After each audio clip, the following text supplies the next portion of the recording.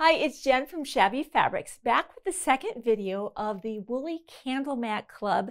But this video is really for anyone interested in how does all this wool applique work? As I mentioned in the very first video, I wanted to open up our Block the Mountain clubs to not just people who got into that club and bought those kits, but anyone really wanting to know about the really fun process of how does all this wool applique work? And what is this shabby fabrics and what is this all about? That way you could be able to peer much deeper into the process and decide if this is something that you might want to try out. And again, of course, I want to encourage you. It's a lot of fun.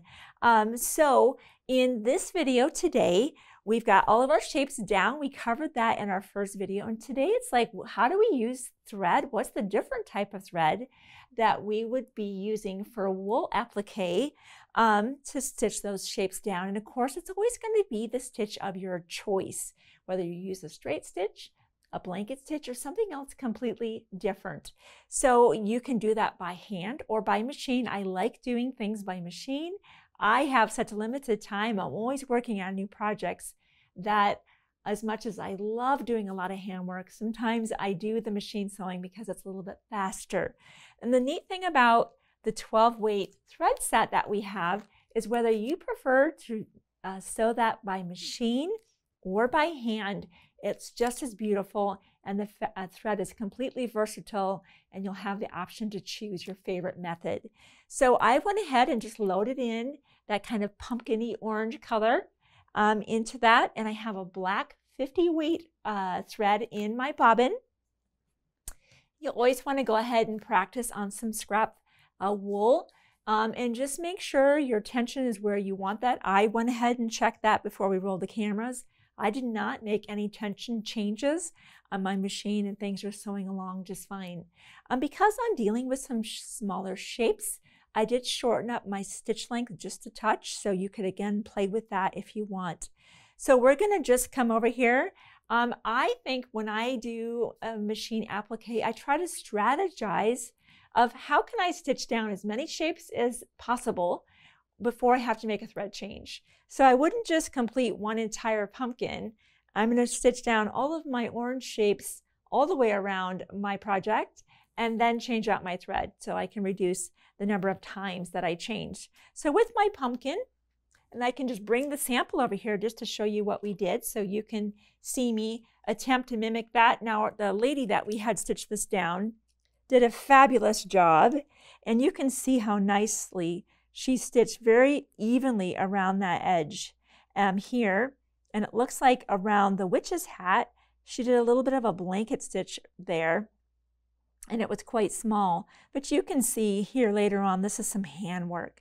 So really, if you want to do a straight stitch, blanket stitch everywhere. It's really your choice. So I'm just going to start off and repeat what she's done or try to repeat what she's done so well and just do a straight stitch. And as you would expect, I'm going to back up and just secure my stitches. And then I'm just going to get going.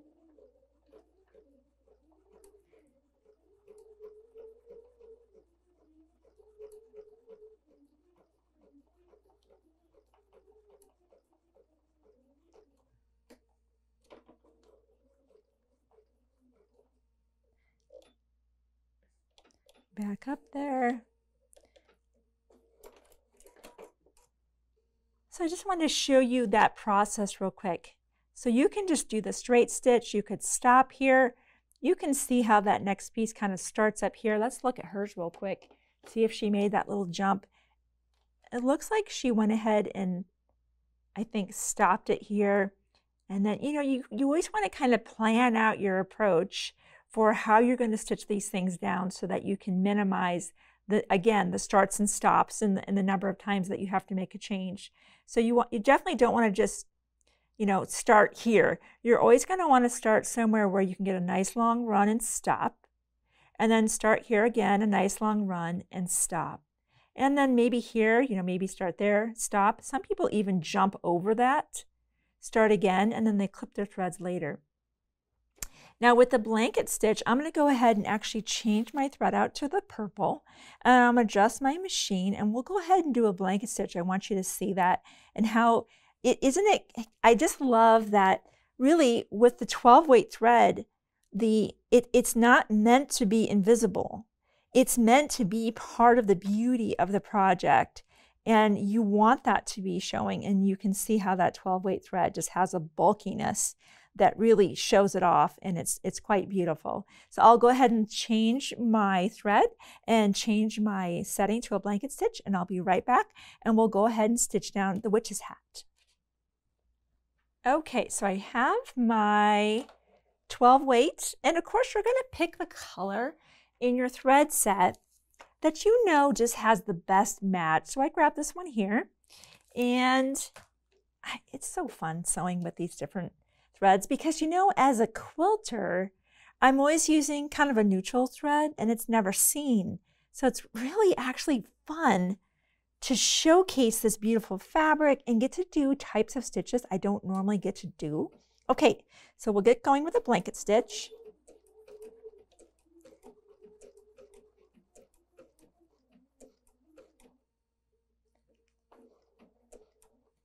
Now, if this isn't a stitch you're comfortable with or do very often, you're going to want to practice that. You're also going to want to absolutely engage the needle down feature in your machine so you can do that pivot the way that I did. So let's keep stitching that down. It's not fast.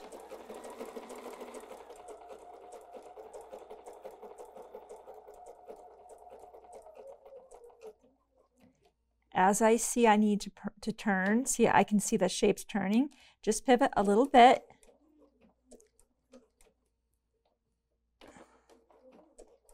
I can see I need to pivot right there. I'm going to pivot again.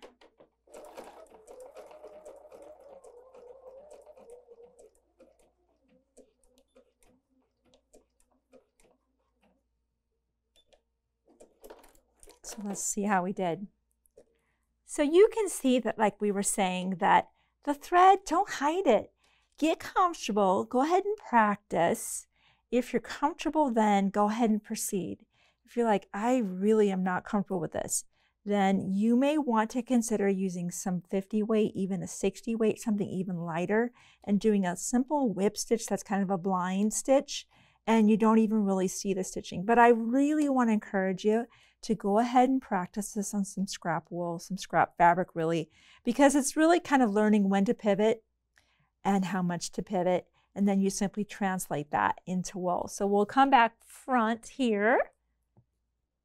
And what, what we did with our machine sewing is we just kind of flip-flop back and forth between a straight stitch and a blanket stitch and just kind of when it made sense and the shape wasn't too intricate, we went for a cute blanket stitch. And when it was like, ooh, it's kind of intricate, we just went for a simple straight stitch.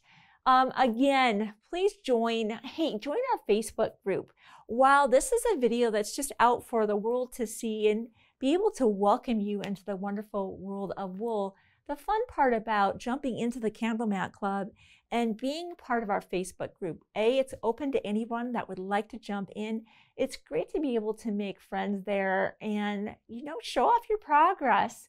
Um, you'll learn tips and tricks from other people that are also in the program. It's really a lot of fun being a part of those groups.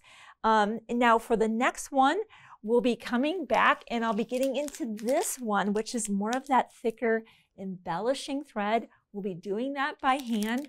We've got some simple stitches here. I'll be going over that. So if that's new to you or maybe you've did that a long time ago, we can refresh you on that. And again, if you want to be able to jump into the Candle Mat Club, do that or be able to take that knowledge and apply that to whatever project that you're working on. So I'll see you on that next video.